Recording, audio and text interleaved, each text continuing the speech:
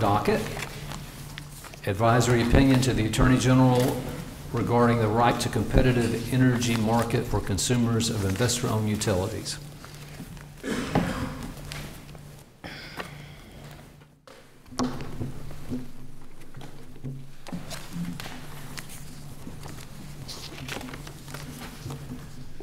Good morning.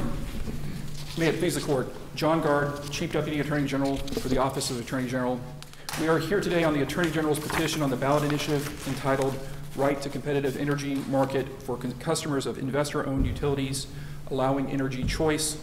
The Attorney General filed her petition for an advisory opinion as well as a brief opposing ballot placement. 18 other entities or groups of entities filed briefs opposing ballot placement. The sponsor filed a brief supporting ballot placement, and one group of entities also filed a brief supporting ballot placement. The opponents to the ballot placement have agreed to an allocation of time. I will brie- briefly present argument on behalf of the Attorney General. I will be followed by Mr. Richard, who will present argument on behalf of Florida Power and Light and Gulf Power. Mr. Richard will be followed by Mr. Meros, who will present argument on behalf of Florida Energy Cooperative Association. Mr. Meros will be followed by Mr. Finklea, who will present argument on behalf of the Florida Municipal Electric Association, the Florida Municipal Power Agency, and the Orlando Utility Commission. Mr. Finklea will be followed by Mr. Tanenbaum, who will present argument on behalf of the, of the Florida House of Representatives. Mr. Gonzalez, and Mr. Uh, who represents Tampa Electric and Duke Energy Florida, is prepared uh, to answer any questions the court has about his arguments. And Mr. Hawks, uh, who represents uh, the Florida Senate, and Bill Galvano as president of the Florida Senate, is also here to answer any arguments uh, or, or uh, questions about arguments raised in the Senate's brief. Mr. Richard requests two minutes of time for rebuttal. Uh, The proponents, if there is time left, the proponents for ballot placement have agreed on an allocation of time. Mr. Sakaya, on behalf of the sponsor, Citizens for Energy Choices, um, and will present argument first, followed by Mr. Ray, who will present argument on behalf of Infinite Energy Inc., NRG Energy Inc., Vistra Energy Corporation, National Energy Marketers Association, and the Energy Choice Coalition. And with that, with the court's permission, I will begin my, my argument. May it please the court. This initiative is a seismic change for Florida and Floridians. While framed as giving Floridians choice, the only thing that this initiative does is to take away the current electricity provider as a choice for over 75% of Floridians. This initiative's main undisclosed purpose is to create a new energy market that excludes the investor-owned utilities from participating in that new market, and that failure to clearly disclose that effect makes this initiative defective under this court's precedent. And further, this initiative does so in a way that hides the ball and will mislead voters.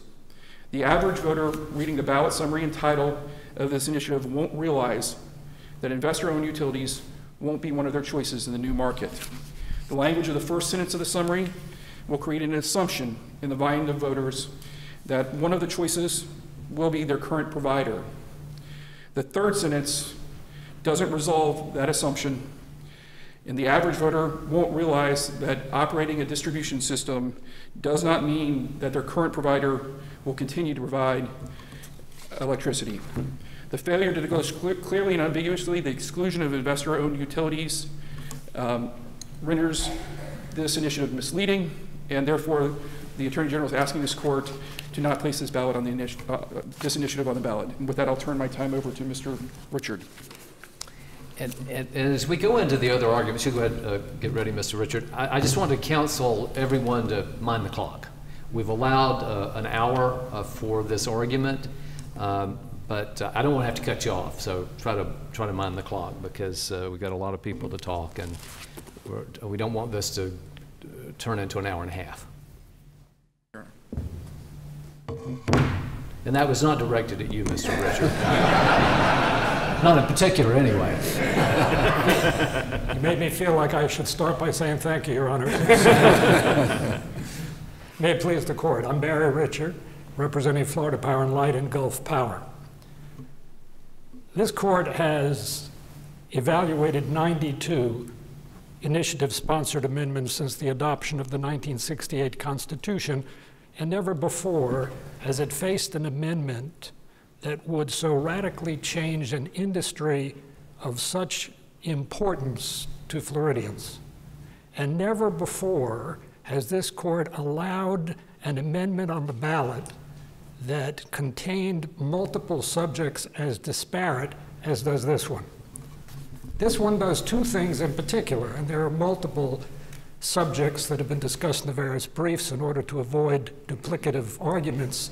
Uh, we have not all argued the same, same ones, but I would focus on the two uh, that my clients believe are the most uh, brazen. Uh, first, it opens the electricity market for generation and sale of energy to open competition for the first time in more than half a decade, a massive change.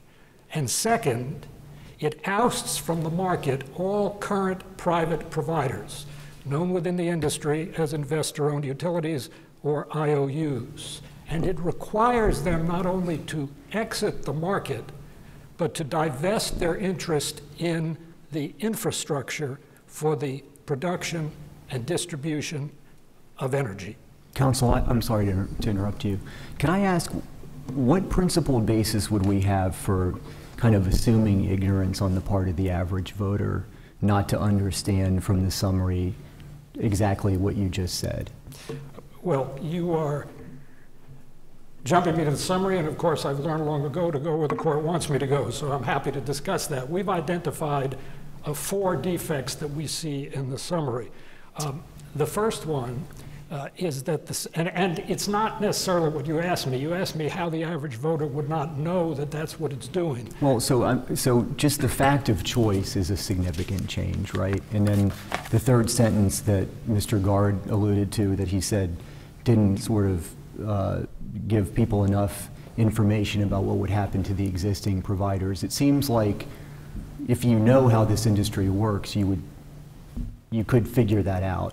But it seems like a lot of the arguments that I've seen in the briefs kind of imply that the average voter wouldn't know enough about how this works to be able to understand kind of the plain text of what's in the summary without further sort of plain English explanation about the industry in general. Well, as we've, we've argued in our brief, uh, we don't believe that even an industry insider would be able to figure out what the chief purpose and the major effects of this is. And we've raised five questions in that respect to show how you can't figure it out. You can't tell uh, by, for example, this says that, uh, that uh, no uh, customer of an IOU uh, Every customer of an IOU will have the right to select their energy provider. But what is a customer of an IOU when you no longer will have IOUs in the industry? Second, if an IOU is any private entity that generates and sells electricity, then doesn't that customer become an IOU prohibited from participating in the market as soon as they begin to generate and, if it allows it, sell electricity? Which, by the way, raises a second issue because this amendment, the summary begins by saying that anyone can sell electricity. The amendment does not say that anywhere. Uh, the ambiguity created by that uh, raised those five questions, and in response, uh, the sponsor had a remarkable answer. The answer was this will not be a problem because a public utility, by definition, is a monopoly. There will be no more public utilities, and therefore everybody can remain in the market. That makes the summary egregiously misleading because the summary very clearly says that the current IOUs will be limited to the uh, construction uh, and maintenance of the, uh, of the infrastructure. Uh, so, so this summary, even with respect to what it does, is something that you can't figure out, even if you are a sophisticated insider. Uh, with respect to the single subject issue, uh, if I can return to that, the only thread that ties these two subjects together is the sponsor's suggestion that both of them support an overall goal of, of competition. Uh, this court has faced that argument before, the argument that all you need uh, to comply with the single subject requirement is that the subject all serve the same high level uh, uh, subject, the same high level goal, and this court has consistently rejected it. For example, when, uh, uh, when there was a, a proposed amendment that would have guaranteed uh, people the right to choose their health care provider. and at the same time would have prohibited not only regulatory impediments to choosing a healthcare provider, but private contract impediments. And it was argued by the sponsor that both of them the, serve the same purpose, which is to give people uh, the ability to select their provider, uh, and therefore it's a single subject. This court rejected that. The court said it's two different subjects, and it wouldn't allow it on the ballot. When the court faced an amendment that would have created an independent reapportionment commission and at the same time included standards for district lines, and when the sponsor argued it's the same thing because both things are designed to create objectivity in districting, this court said, we don't, we don't buy that. They're different. And you wouldn't allow it on the ballot. Mr. Richards, uh, can, Mr. Richards, what, with respect to single subject, if the um, amendment, the proposed amendment language, affects different areas or uh, sort of goes into different branches if it affects the legislature and the judiciary and the legislature. Um, how does that, is that still single subject? Well, this court has said no, that it affects either different branches or different uh, levels of government, that it's multiple subject. Uh, that's not one that my clients argued in the brief, not because we don't embrace it, but for the reason I said, we're trying not to be duplicative. But this one clearly affects multiple levels, both state and local, as well as multiple branches of government, as was argued effectively and thoroughly in some of the other briefs. Now, the case law says that the voter does not have to be, the ballot summary does not have to advise the voters of any and all implications for a constitutional amendment, but it does have to sufficiently inform the voters, correct? That's absolutely correct. And do, do you believe that this ballot summary sufficiently informs the voters of the proposed amendments? No, we gave four reasons in our brief that we think it does not. The first one was what I mentioned already, and it's blatant. It tells every voter that you will have a, a constitutionally guaranteed right to sell electricity. It does not do that. It allows the legislature to restrict who can sell electricity, just as they can do now, and that's significant because many voters may vote for this because they think, well, we'll have the opportunity to sell electricity, especially when you're talking about large, large organizations that would like to have the ability to do that. Uh, that's, that's highly deceptive and it's significant. The second thing that we argued uh, was that uh, the, what I mentioned earlier, the summary is so ambiguous as to who is going to be ousted from the market and who is not, that, uh, that, it, that even the sponsor itself doesn't know what it does and came back and said, well, anybody's allowed to stay in the market, which clearly is not what the amendment does. Uh, the third thing uh, that we argued was that the, uh, the, the summary says that it guarantees consumer rights. When you look at the amendment itself, it lays out the consumer rights that the amendment is providing for, and they are the same rights that currently exist, as we pointed out in our brief. This court, in more than one amendment, held that it was deceptive if the summary suggested that it was creating a new right as opposed to just constitutionalizing an existing right, and you disallowed it on the ballot, and that's precisely uh, what this one does. Counsel, so, Counsel, I'm sorry for interrupting you. Just one quick question because you only have a minute left. Going back to the single subject issue, I understand that there are court precedents speaking to this, and I understand sort of the policy reasons why you would want to have a different approach, but textually, why should we not interpret single subject in this context the same way that we do in the legislative context? Well, this court, uh, I, think that question points out an important issue because the court, as you know, uh, directly addressed that question at one time and pointed out that the reason this is different and the reason that only the initiative sponsored amendments are subject to this single subject, which is worded differently, is directly connected as opposed to the legislative one, which just says connected, that the reason for that difference is because this is the only time that a proposed amendment doesn't have the filtering process of being debated publicly by a representative deliberative body. It jumps directly from the pen of the private sponsor to the ballot, and the only check on that is this court. It's well, but, but, but, it seems to me uh, that that omits the public debate that surrounds the campaign to pass or defeat an amendment. That's a vigorous public process. Uh, uh, so I'm, I'm, I miss, it seems that that is kind of omitted from some of these discussions. What well, am I missing with that? Nothing. And I have two responses to that. Uh, You're not missing anything, I just don't agree with the end result that you're getting towards. Uh, The first is that uh, you deprive the voter of the ability to make an intelligent, uninfluenced uh, uh, decision when you have log rolling, which is the underlying reason, as this court has said, for the single subject requirement. And there's clearly log rolling here. The second reason is I'm going to cite a very enlightened dissenting opinion by Your Honor and Justice Polston, in which you pointed out that where the ballot summary is misleading, you undermine the ability of the voters to make a fair decision. Those are the reasons. All right, we have helped you exhaust all your time, plus your rebuttal time. I will afford you one minute of rebuttal. Thank you, Your Honor.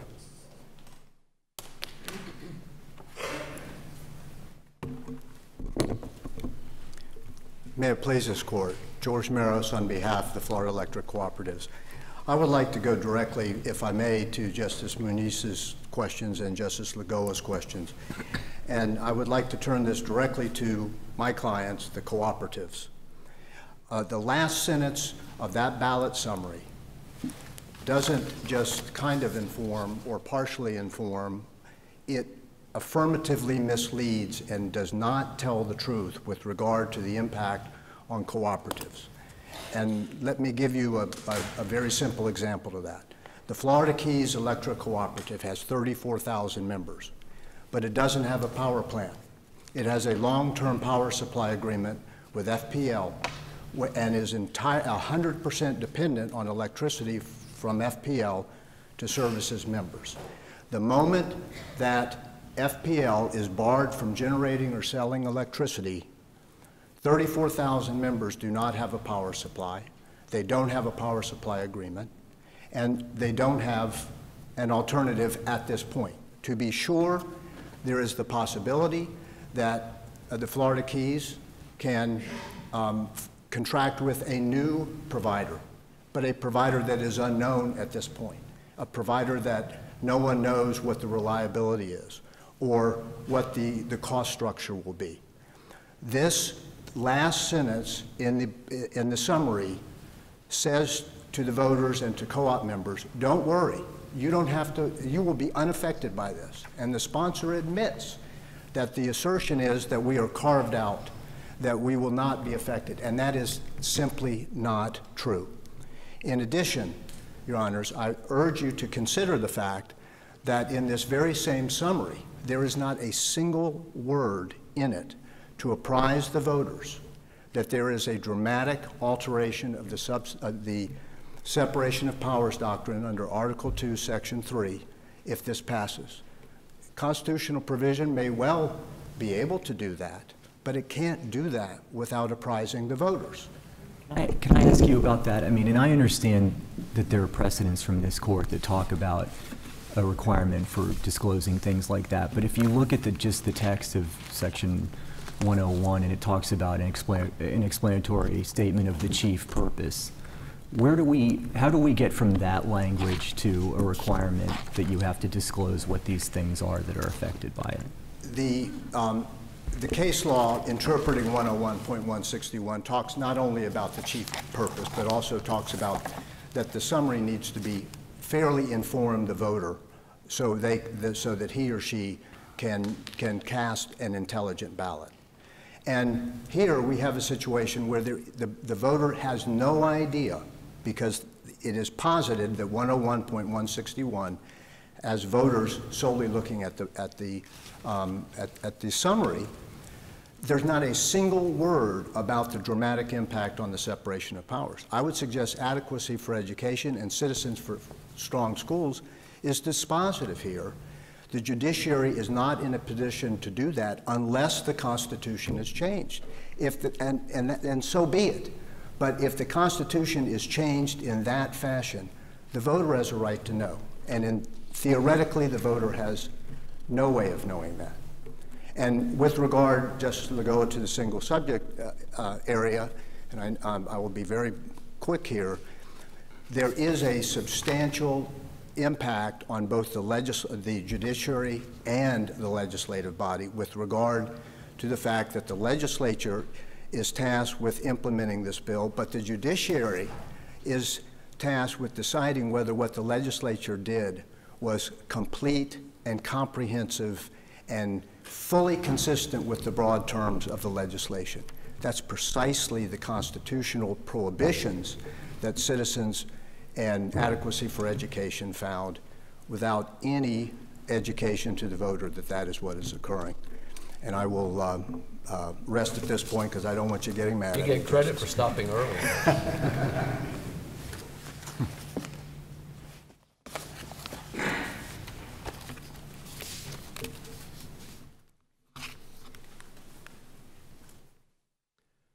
May it please the court. My name is Jody Finklea, and I am privileged to represent Orlando Utilities Commission, Florida Municipal Electric Association, and Florida Municipal Power Agency. Florida's municipal electric utilities agree with the other opponents' arguments in opposition to this initiative, but there are two reasons particular to Florida's public power parties that this court should keep the initiative off the ballot. First, the ballot summary and the initiative itself are fatally misleading to the voter who are left with the impression that Florida's municipal electric utilities are unaffected by the initiative unless they choose to opt into a new competitive market scheme. Secondly, the initiative has a direct negative impact on home rule authority and cuts short the implementation of Article 7, Section 10D of the Constitution, providing for joint electric projects, which impairs numerous joint ownership, power supply, transmission, and other agreements that municipal electric utilities rely on to serve their customers. As to the misleading nature of the initiative, it's fatally misleading for two reasons. First, the initiative's ballot provides simply that Florida's municipal electric utilities may opt into a new competitive market. That leads the voters to believe that absent the choice to opt in, there is no impact.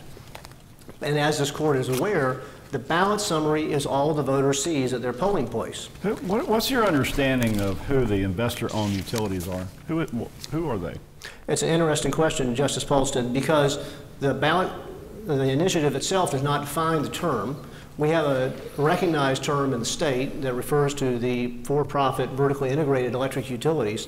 However, if the initiative does not define it and it changes the entire market, as the proponents of this initiative say, to a truly competitive market, then who knows who the investor-owned utilities are in that context?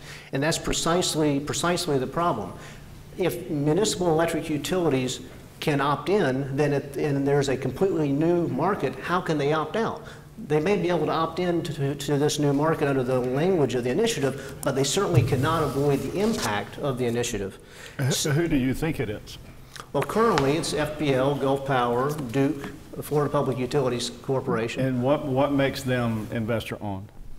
Uh, That is a term that is uh, uh, used because they are owned by stockholders, and they go before the Public Service Commission, and the Public Service Commission regulates their rates for the benefit of of Florida's retail consumers, and uh, uh, for the uh, purpose of of ensuring them an adequate So uh, what- return. What makes it, is it by virtue of ownership uh, of stock, is it, or is it by generating and selling electricity or other activities for profit in some way? It's, it's a for-profit activity, and the proponents in this case argue that a vertically integrated utility is a monopoly, and all monopolies have to be done away with to achieve the objective they're trying to achieve. However, municipal electric utilities, some of them are also vertically integrated monopolies. For example, there's 33 municipal electric utilities in the state right now. Um, Nine of them own some generation, but only four of them own sufficient generation to be independent, uh, independent actors. And 11 of them today purchase power from investor-owned utilities. The ballot summary, though, is fatally misleading uh, not only in what it omits to say, but in the initiative itself. Section D of the initiative says that no existing rights or duties of municipal electric utilities are affected in any way, and that is nonsense. Uh, The very right of municipals to choose their counterparties is taken away by this initiative because municipals exercising proprietary and home rule authority have chosen to do business with FPL and Duke. As I've said, 11 of them purchase power from those, those companies now. Supporters of the initiative say that these are simply secondary impacts on municipals, and that is flat wrong. These are critical business decisions and operational choices for our municipal utilities. As to the impairment of contracts in Article 7, Section D, 10D of the Constitution, Section 16301, 15J, sets forth an irrevocable contract between the state and Florida's municipals, in this case OUC and FMPA, and their bondholders, that no power of theirs will be diminished, impaired, or affected in any manner for the life of those joint electric projects. One such joint electric project is today OUC's and FMPA's joint ownership of St. Lucie Unit Number 2 with Florida Power Light Company, which began operation in 1983. Load these 30 plus years into the project, this initiative would take away the choice that OUC and FMPA made to go into that project with the Florida Power and Light Company. Counsel, may I ask you a question regarding Honor. the Public Service Commission, because you, you mentioned that in your argument. Um, Is it clear from the ballot summary uh, to the voters what would happen to the Public Service Commission and- and who would be deciding the rates of service for consumers? No, Your Honor, it's not clear at all. It- It's, the ballot summary provides that inconsistent rules, statutes, and decisional authority will be negated. And you- when you look to the initiative, you see that the first enactment of the legislature pursuant to this initiative causes that negation. The PSC is an arm of the legislature today not only provides for the rates for investor-owned utilities, but provides for the safety and the reliability of the electric grid. And does it, does it also uh, inform the voters as to what would happen to uh, this court's jurisdiction to decide uh, whether or not rates of service uh, are reviewable? No, Your Honor, it would not. Uh, the- Right now, as you know, the Public Service Commission rate decisions are appealable directly to this court. Nowhere is the voter put on notice that that, those, that that process is now eliminated by the initiative. Thank you, Your Honors.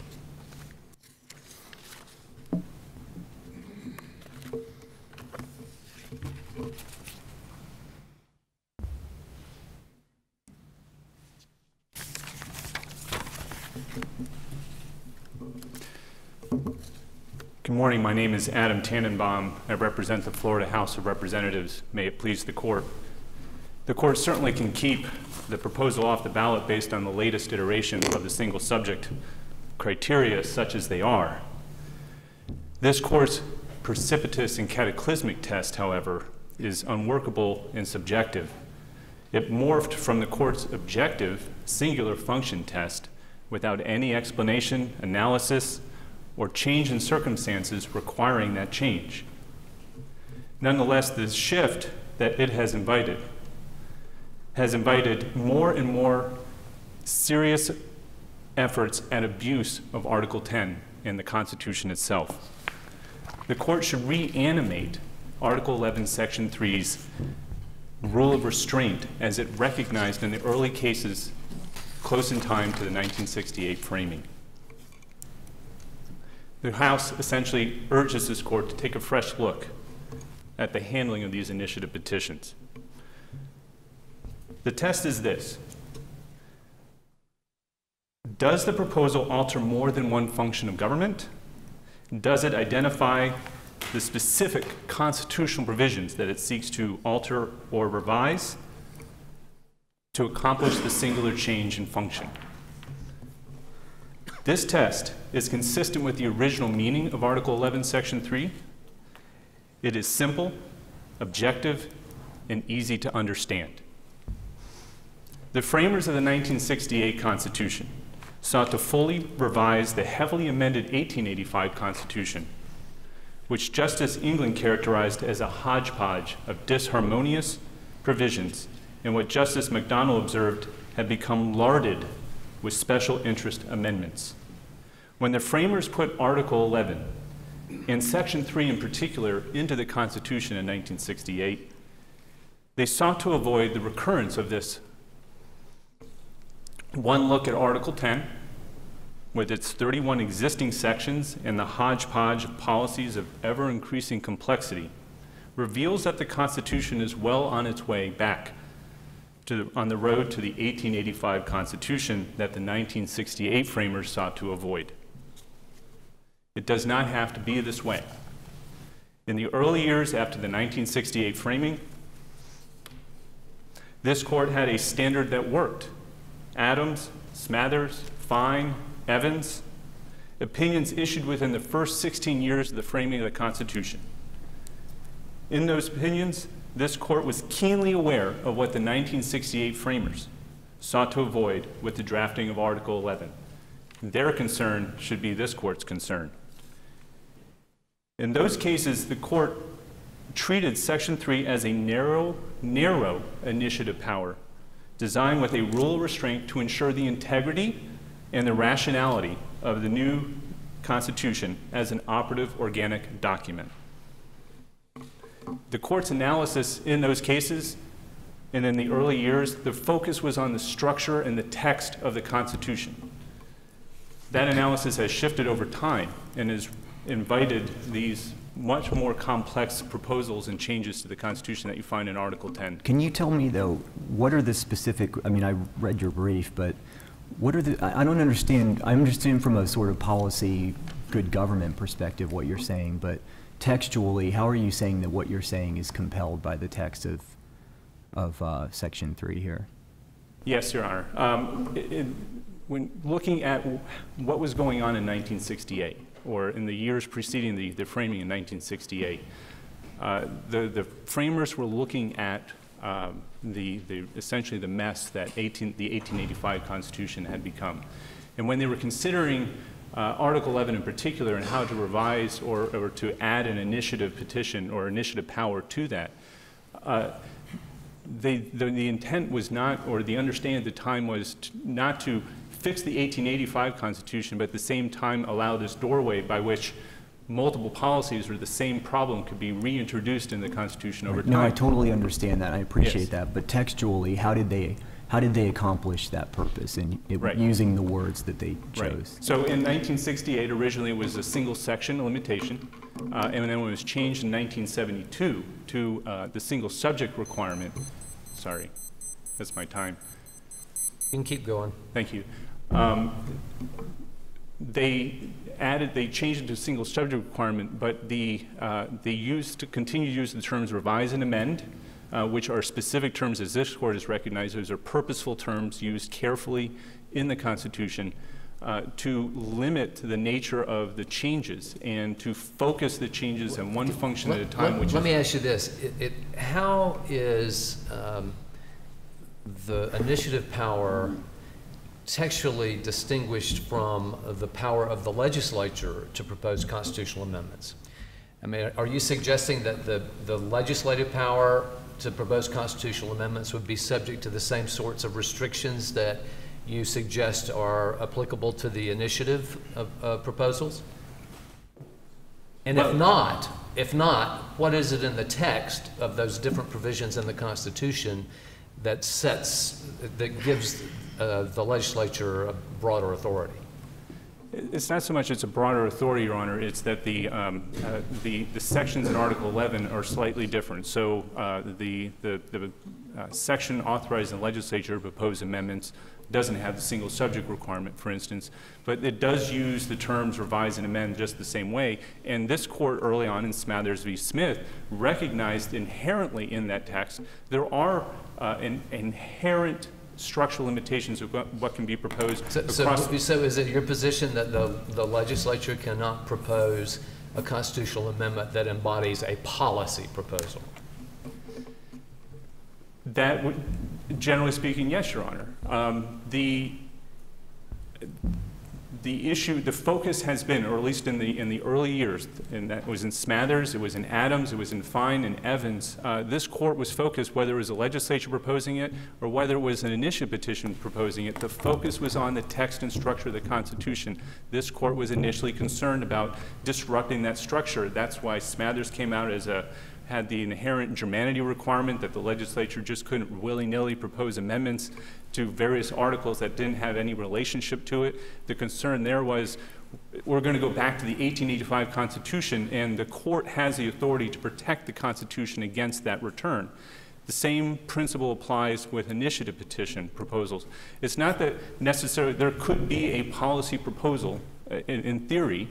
The, the focus needs to be when the court ana- analyzes that proposal or any other proposal is what function, what singular function of government is being changed, not a question of degree. Fine and Evans say it's not a matter of degree. It's, is there multiple functions being changed? And then additionally, demanding that the sponsor, not this court having to pick up the pieces after the fact and figure out what's being, con- what's conflicting and, and figure out how to construe these various provisions like we now have with Article 10 and, and, and ongoing litigation, but demanding that the sponsor, when they draft the legislation, or when they draft the proposed amendment, identify the specific portions of the Constitution, the, the, the, the language in the various articles or sections to accomplish that singular functional change. Thank you. Thank you.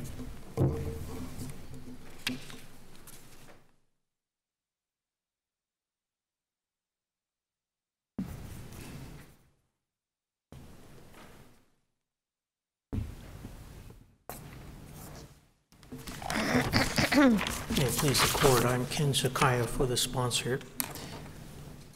My father used to say, uh, Ken, keep your eye on the donut and not on the hole. Well, the donut in this case is a very simple test applied to a very basic American principle. And the case involves simply a matter of bringing to a particular industry a free and open choice in a free market society where a monopoly is no longer needed. And I ask you, Your Honors, to look closely at the ballot initiative and ask yourselves how else could you accomplish this end?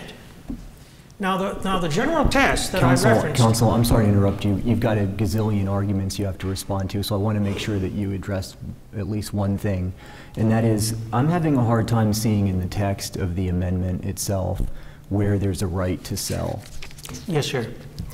Well, there are a couple of, uh, a couple of aspects uh, about that that I think the court should uh, consider, and one is the, it's right after the, uh, in, in the ballot, right after it talks about uh, the rights of each person to receive electricity service, basically uh, the right to receive service from any provider.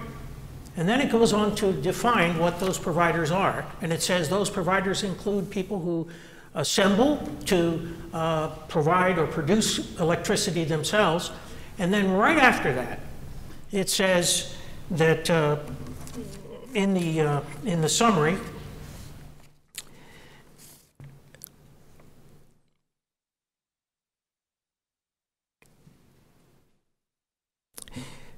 says that, that investor-owned utilities grants, grants customers of investor-owned utilities the right to choose their electricity provider and to generate and sell electricity. And then when you look at the rights of electricity customers, it says, except as specifically provided, provided for below, nothing in this section shall be construed to limit the right of electricity customers to buy, sell, trade, or dispose of electricity. Now, from the standpoint of the framers who are looking at how that language should appear in the summary or what should be placed in the summary. I suggest that if we failed to say that it provided a right to sell, then they would be arguing that it omitted an important and material fact. Because certainly this language means, and if, uh, if it doesn't exactly mean, it can certainly be reasonably interpreted to mean that every customer of an investor-owned utility has the right to sell. But Because, I, I'm, I'm struggling with the same question that my colleague has. I, I, I can't see how this provision that says nothing in this section shall be construed to limit the right to sell as guaranteeing the right to sell. Because nothing there says the legislature can't prohibit the, the sale by, uh, uh, consumers. So I, I'm, that's where I've got well- just, and you know, one, one of the things, there are a lot of things floating around here. Right. Um, uh, there's a lot, and our jurisprudence is quite complex and maybe not entirely coherent. Um, But it is what, that is what it is. But one thing that is quite clear in our jurisprudence, uh, maybe not consistently applied, but I think it's quite clear, and it's always at least acknowledged, is that a, a summary cannot be affirmatively misleading. It cannot state something that is untrue. Now, again, I'm not suggesting that we've always applied that consistently, uh, but that certainly seems to be a, a good principle to follow. Um, and, and I'm having trouble seeing how we can follow that principle and uphold this, given that I, I can't find that guarantee in the actual text of the amendment. Well, uh, Congress shall pass no law restricting the free exercise of religion. And yet, well, from that provision, we are free to exercise our religious freedoms. Congress shall pass no law prohibiting the uh, assembly, free assembly. Therefore, from that provision, we know that we have Well, the but that's a, free that's a, that's a prohibition on the acti, the, uh, the powers of the Congress, whereas there's, no, this is, does not involve that. This is just saying that nothing in this amendment will be interpreted to, um, uh, create such a prohibition. Well, it's- So and again, I'm, I think I'm, Shall, shall be construed, nothing position. shall be construed to limit the right of uh, customers in, to sell, buy, trade, or dispose of electricity. So if nothing limits that, nothing shall be construed to limit that right. So if the, uh, uh, nothing if- in this section Nothing in this section, no, well, basically, the, the uh, initiative dealing with the rights of, um, of these uh, in- investors, or, uh, excuse me, these customers of investor-owned utilities. And, and there isn't, another argument is that there isn't currently that right. And if there is no current right to sell, then it would be meaningless to say it, nothing shall be construed to limit that right. The fact that it comes right after, you know, right after the provision that's talking about the rights of electricity customers, and it says have the right, they have the right to choose their electricity provider, including but not limited to selecting from multiple providers in competitive wholesale and retail electricity markets, or producing electricity themselves or in association with others, and shall not be forced to purchase electricity from one provider except as specifically provided for below. Nothing in this section shall be construed to limit the right of electricity customers to buy, sell. The placement of that provision, when we're talking about the rights of uh, customers of the investor-owned utilities, I believe is significant. A- Absent that provision the amendment, Mr. Sukhia, couldn't the legislature go in and restrict the ab- ability to sell electricity? No, I do not believe they would have that right And it would be, it would be valid even under this new constitution, would they not? They- they- Would the legislature have the right to come in and restrict someone's right to sell under Yes. this amendment? Right. And I would argue no. And, and, and the, the reason that's significant when it comes to what is placed in the summary is that, as I said, if we failed to include what, well, even if you conclude that, well, maybe and well, maybe not, but if we failed to include that in the summary, we would be alleged to have omitted a key portion. Let me ask you about another part of the summary uh, that I alluded to earlier about investor-owned utilities. How would you define an investor-owned utility? Investor-owned utility is a um, um, multi-tiered uh, uh, entity that controls um, several aspects of the energy uh, system. Uh, It is a, uh, What about if it was just someone who um, generated and sold electricity? no, that would not be a utility, Why, why not? because a utility is, uh, in its essence, a monopoly. Uh, Where is that definition coming from? Well, it, it, it comes from a number of, uh, number of sources. Uh, Just a moment, Your Honor. But, uh, I'll tell you why. It's, it seems like on the face, the summary is confusing to me because when I look at an, an investor-owned utility, it seems intuitively that should be uh, someone who generates and sells electricity for profit. That seems like that would be an investor-owned utility.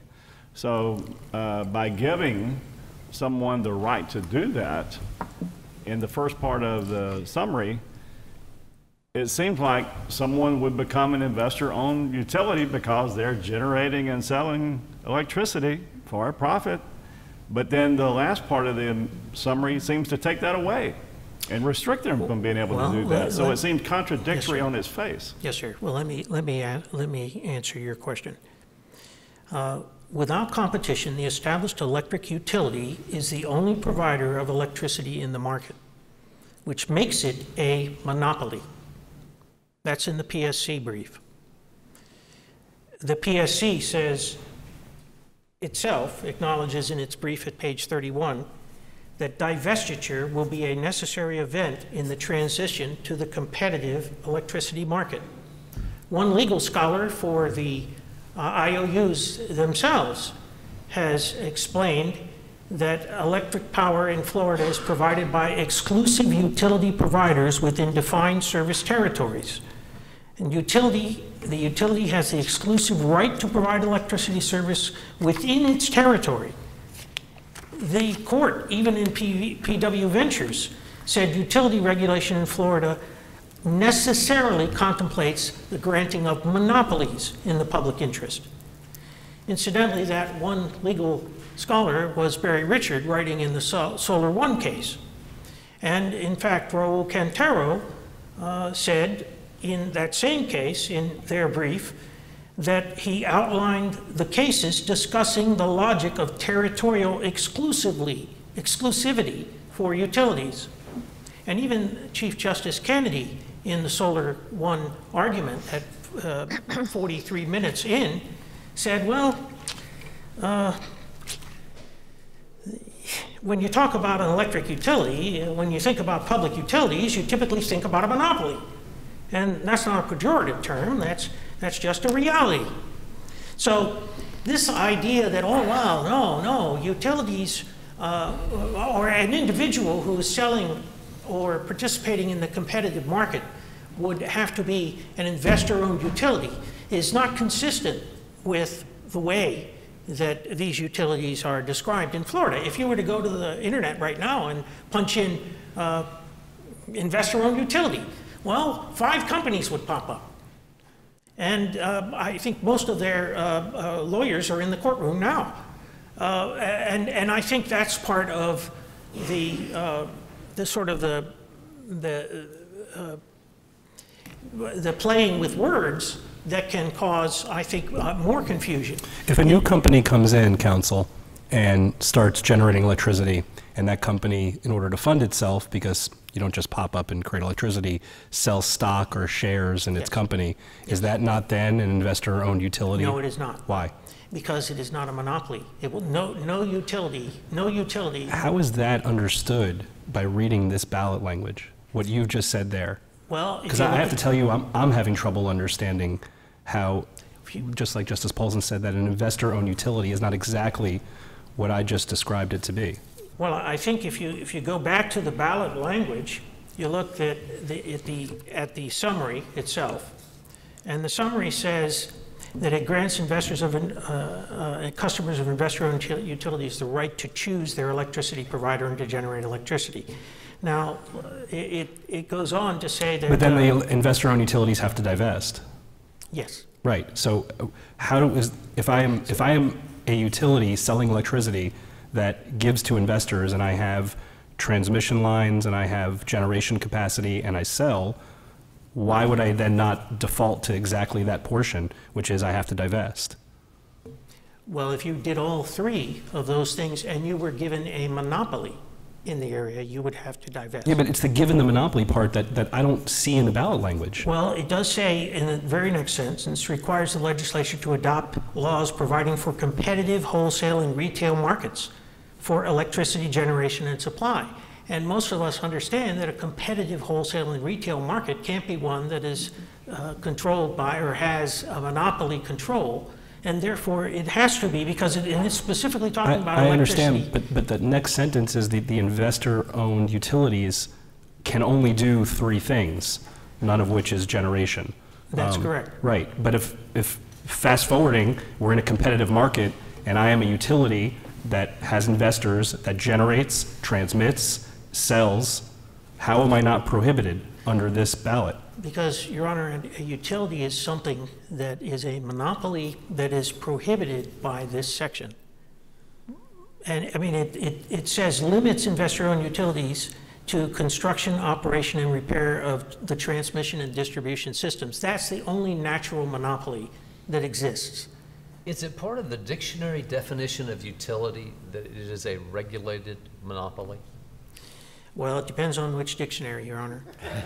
The answer is no. If you, if you open Webster's, it doesn't use the word monopoly. Well, if you go to Webster's, it, it doesn't, but if you go to any more, uh, any scholarly uh, article or, or, or uh, you know, If you go to, if you go to minute 43 of one oral argument, that's, that's what tells you? no, no, Your Honor, uh, I, I, I- if you look at, uh, for instance, uh, Well, that was a scholarly source. Depends on the case, But that was in a particular context of a statutory scheme, I But think. counsel, I mean, counsel, isn't fundamentally, though, the- your, wouldn't your point be that it's not the job of the summary to clarify ambiguities in the text? Your, your summary, in this respect at least, is just parroting the language that's in the amendment itself. And so if the amendment itself raises these questions, that's one thing, but you can't fault a summary for just parroting language that itself may be subject to dispute.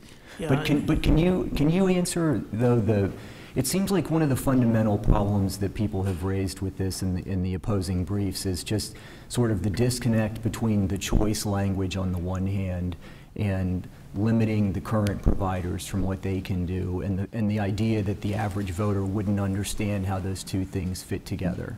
Um, Can you, can you address that? yes, sir.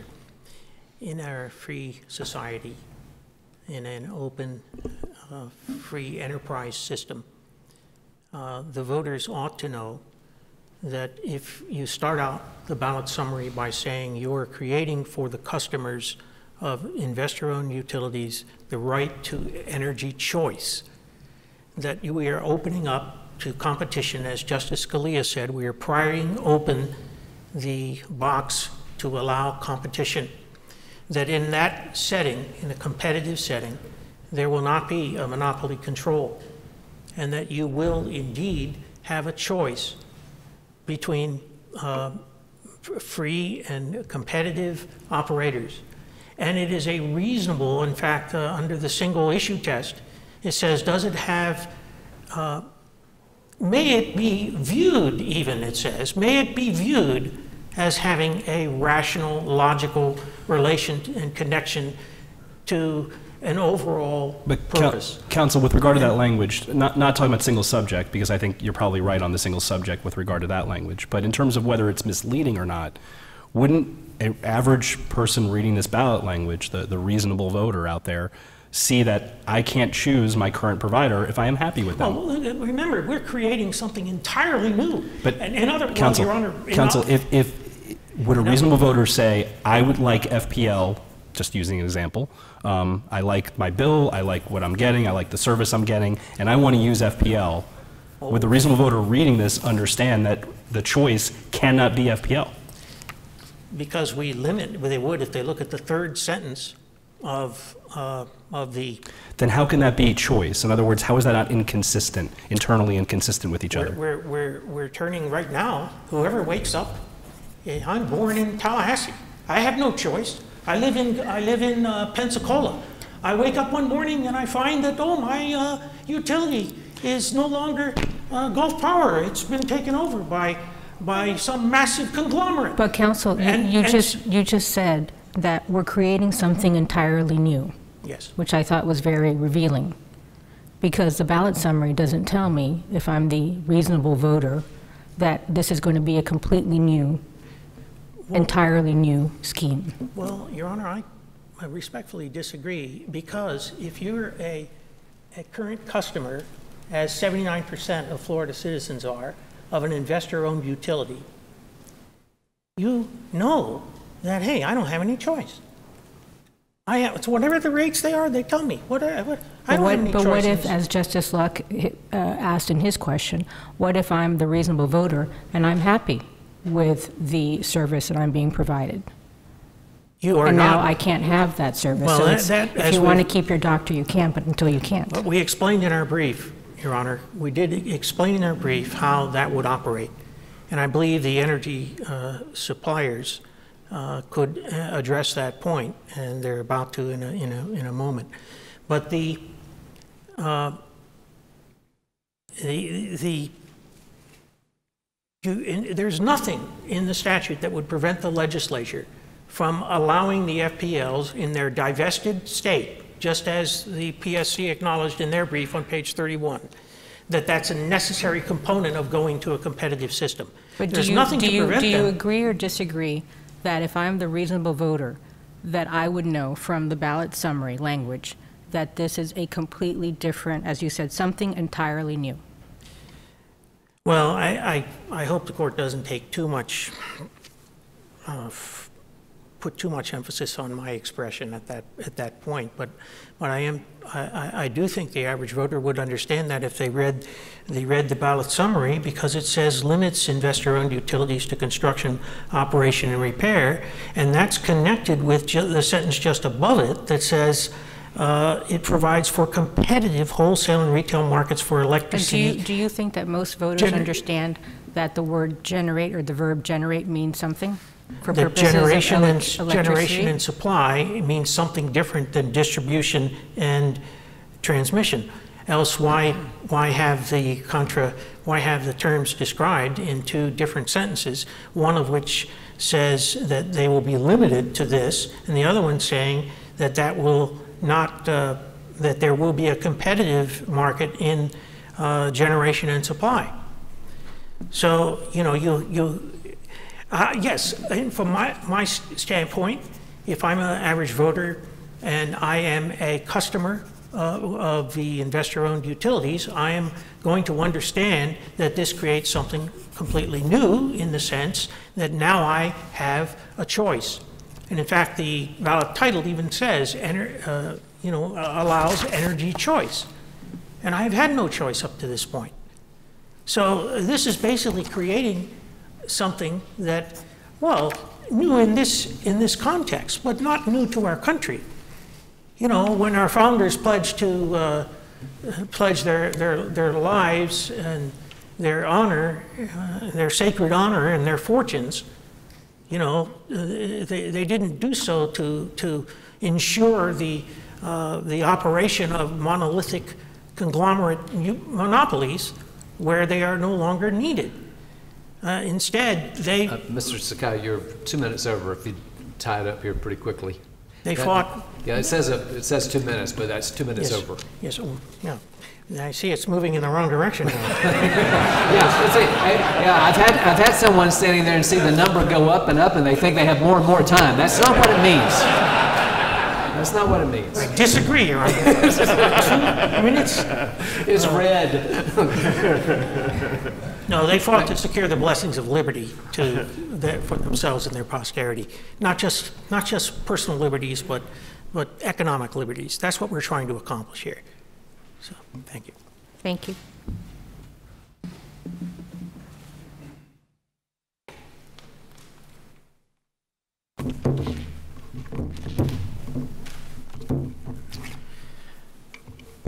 May it please the court. Uh, Good morning, Your Honors. Uh, My name is Warren Ray, and I'm here on behalf of the energy suppliers, Infinite Energy, NRG Energy, Vistra Energy, the National Energy Marketers Association, and the Energy Choice Coalition in support of the Energy Choice Amendment. Uh, Following up on Mr. Sukhia's presentation to the court, I'd like to respond to a few points that have come up during our discussion this morning. Uh, First of all, to your question, Justice Luck, uh, one point of clarification I wanted to add here. Um, Based on the text of the amendment and the summary, there is no divestiture of transmission and distribution. That would remain a monopoly function. The divestiture is in generation and in sales. So the hypothetical entity you described that would be doing, for example, generation and transmission would not, um, th- that wouldn't be possible. Right. That's, So- that, that would be an, an, an income, that would be an investor-owned utility. Yes, sir. Right. Uh, So, so uh, that would, uh, to add uh, some clarity to the definition of the investor-owned utility, um, after uh, you know, if, if the amendment were approved and were, were, uh, you know, to go on to passage, the investor-owned utility would remain in that transmission and distribution function. So nobody could ever, in the state of Florida, generate electricity, transmit that electricity, and sell that electricity. Uh, That, uh, that would be, well, in areas that are now open to competition, it is correct. No, uh, there would be no more ver- vertical integrated monopolies. How does that, then let me go on to Justice Polston's question, which was, I, generate, I'm a company and I generate electricity, let's say through significant solar operations, and I want to sell the electricity, and obviously you have to transmit that too. How is that not inconsistent with the right that's now established to me by the ballot summary that I can, I can sell my own electricity? Uh, well, now you can imagine a situation where uh, there's a, actually that's a, yeah, that's a good point. I guess you can imagine a situation where there's some It's kind rare of. that someone admits that, thank you. Well, I can imagine, uh, you can imagine a situation, depending on how the, the legislation worked out, where there might be some kind of small-scale independent transmission. uh, But how would I know that from the summary? I, I, I think you're probably right, but how, how would I know that? How would a reasonable voter know that? Well, I think if you That if you, it's only 50 watts, it's okay, but if it's 100 watts, it's not okay. Well, now, uh, it, it does ultimately say that it requires the legislature to adopt laws providing for these markets, and, and there is a lot of leeway given to the legislature in the text of the amendment. Yeah, but the ballot summary is written as imperatives. It has to be, it's only 75 words, but it's written as you shall be allowed to, you have the right to do something, even though I, I tend to agree with the chief and, and, and Justice Muniz that that's problematic too. But you have the right to sell, and yet you can't generate and transmit and, and uh, distribute. Well, I, I suppose it depends upon what you mean by, by sell. If selling is a function that, you know, similar to selling today by um, an investor-owned utility, it's a whole vertically integrated function. Um, Well, if my but- daughter's in the business of selling bracelets, she has like her little strings and makes them, um, and then puts an online ad, and then and then uh, puts in FedEx box and sells it and takes money through PayPal. That's a vertically integrated uh, sales operation, right? Well, I would, I would disagree with that because uh, she doesn't own uh, any part of that process except the part, uh, I guess, the manufacturer of the bracelet. And Well, she's she making organizes. she's making them, she's generating them, Right. She's marketing them, she's transmitting them through the post office, and then she is reaping the profits from it, distributing them. And, and I would disagree with the notion that she's transmitting them. Now, she's made contracts, you know, in, in a matter of speaking, she's made contracts to engage in the Fair enough. She has a, she's good with her bicycle. She's riding around town, dropping them off. my, my point. My point is, there's nothing to tell anybody that th- this seems to not allow that. On the one hand, it giveth and it taketh away, all in the same ballot language. And how is that not internally inconsistent? Well, uh, I think that uh, when, when you look at it here, uh, to limit the investor-owned utilities to the, uh, to the electrical transmission distribution systems, while nevertheless granting uh, customers the right to choose their provider and creating markets for generation and supply, uh, I think it's, it's spelled out uh, pretty, pretty, you know, as clearly as can be in 75 words. But you, but you missed the, the the verbs construction, construction, operation, and repair. Those are the only things they're allowed to do. Yes, uh, well, uh, or things I suppose that would, would further that purpose. I know that one, uh, one uh, point made in the briefs, for example, was that ownership is not permitted, and we would disagree with that. Um, surely, to the extent that ownership is a component of uh, the, the operation, for example, of electrical transmission and distribution systems, that would be permitted, and in, in competitive markets in other states, uh, the ownership of the transmission lines is, is, is not an issue. So, the, um, Well, I, I understand your argument on that, but there is a distinction between ownership and operation. I mean, I can own something and I can contract or, uh, or someone else can have the right to operate it. So those, they're- those are separate uh, components, it seems to me. Well, That's true, and, and I think that if you, if, you, if you read it in the way that the opponents of the initiative have encouraged it be read, it would be uh, so exclusionary as to, as to seemingly rule out a lot of the ordinary practices that any kind of business would be engaged in. Like, for example, if you read it uh, to be exclusive of anything other than those three activities themselves, rather than you know, necessary activities to engage in those activities, uh, it would prohibit uh, maybe basic corporate functions, filing taxes, hiring and firing decisions, things I like think that. that's their concern. Well, it's, uh, yeah, that's, that's, uh, we don't think that that's the way that it would be read.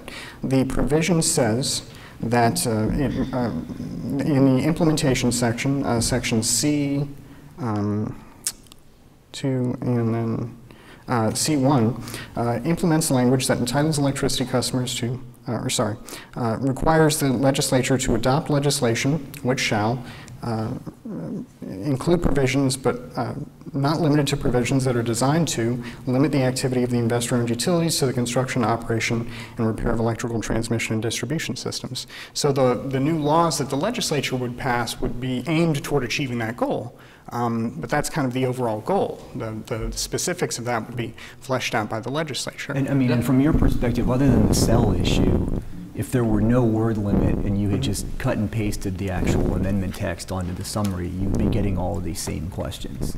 Uh, So the questions are more about the content of the amendment, which is, I mean, it's hard to understand how it would actually work and what it means, but it's not a function of the summary being different from the amendment in these Well, respects. I, I think part of that ultimately is uh, correct and, and goes to one of the issues in drafting the initiative. The, the sponsor in drafting the initiative tried to grant more room to the legislature to implement this, recognizing that though it's a single subject, and, and though we of course believe that the ballot summary is not misleading, it is nevertheless a complex issue that does touch on, though uh, not substantially uh, impact multiple Let me give you a chance to address um, an issue that's already been addressed, and, and that is uh, Mr. Sukhia conceded, I believe, at least impliedly, that, um, that there's no express grant to customers of IOUs of the right to uh, sell and generate power. I mean, he did that when he said, I think that this language can reasonably re- be read that way. Um, i- If, I guess I guess it's two parts. Um, I I- I didn't follow how it could be reasonably read that way, so maybe you could get a... Sure. Try that. And then if we disagree with you and believe that this language does not grant customers of IOUs the authority to sell and generate power, why is that not, or would you concede that that would make it defective as misleading? Well, if the amendment says it grants you the right to generate and sell electricity, and that is the new, the, the new right here, to generate and sell. Um, if you believe then that the text does not support that, then yeah, I, I couldn't see a way around that. But that being said, uh, we of course believe that the text does support that. Uh, really, as a matter of, to add to what Mr. Sukhia said, if you have a right to choose, right, and the whole point of this amendment is to, is to uh, realize as meaningfully as possible this new individual right of customers of investor-owned utilities to choose their electricity provider. To meaningfully effectuate that right as far as possible, if you've got that right to choose providers, then somebody's going to have that right to sell. And of course, that right is subject to uh, the police powers of the legislature, surely. Right, so Right. if the legislature passed a statute saying you couldn't, would Right. that be valid? That would not, because the legislature's police powers certainly entitle it to regulate. But uh, we believe after this amendment were passed, it would I not thought you just entitle it said it would be within the power of the legislature to restrict the sale. to, to regulate, but not to prohibit. So the legislature would certainly have the right to say, well, uh, you have to get licensed to sell, you have to meet these certain conditions to sell, but we can't just, as a matter of, of fiat, just straight up prohibit you from selling. Um, similar to, I, I know some of the previous cases with respect to You have a constitutional right to sell electricity. Uh, Yes, I mean- subject to, of course, whatever the legislature's uh, contours on that right would be, uh, health and Under- safety. I mean, you represent clients who were individuals and may have been customers of IOUs in Florida who decided to go into the electric generating business under our current regulatory scheme. Um, So, are- i- i- I mean, but, but to suggest that every customer today can sell and grant electricity would still be misleading, even though in theory, under the current scheme, they could um, start up their own electric generating company and, and go through the permitting process, and if there was a need, they could. Well, I- it, it, uh, my time has expired. May I uh, respond to Please, that? you can respond to the question Sure. briefly. I, think it, it, it, it depends, I suppose, on how you think about it. It may seem more or less plausible if you think about it in certain ways. Now, I'm not conceding that that's not possible, but I think that if you imagine the sense of a smaller solar provider uh, selling to a neighbor or as part of a neighborhood co-op, a cooperative, or something like that, it seems a lot more like a practical uh, thing that can be done rather than um, as, um, as an unrealistic proposition. So, um, if there are uh, no more questions, uh, thank you for your time.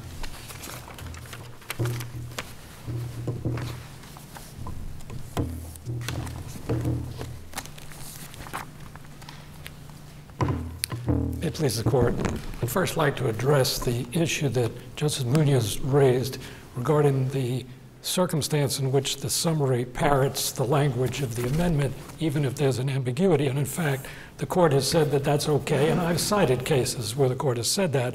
None of those cases involved an issue that goes to the core of the amendment, as this one does. The problem, and perhaps this court should clarify it, is this. The purpose of this is to make sure that the voter knows what he or she is voting on. If you can't tell that from the summary, why is it cured? Because the amendment itself is equally confusing. And if we're going to allow that, shouldn't we require a disclaimer in the summary that says if you can't figure out what this says, that's because you can't figure out what the amendment says either, so take your best guess. The point is that that makes no sense. But in addition, even if you accept this issue regarding parity in the language, that doesn't cure the problem here with the fact that it says you can sell electricity. And in that regard, when the sponsor says that the amendment says you can choose any provider, it doesn't say that. What the amendment says is that you have the right to choose that voters have the right to choose their electricity provider. The fact is, there's only one way to read this amendment, which is that the legislature will retain the power to restrict who can sell electricity, and that's directly contrary to what the summary says. Uh, the other uh, point I wanted to make uh, was that um, on this issue of investor owned utilities, the fact is, that there is no statute, there is no regulation that says what it is. And as we pointed out in our brief, uh, that even the Energy Information Agency within the U.S. Department of Energy defines an investor owned utility as one that's publicly traded. It's not even clear within the industry what it means. Thank you, Your Honor. Thank you. We thank you all for your arguments. The court will now be in recess for about 10 minutes. All right.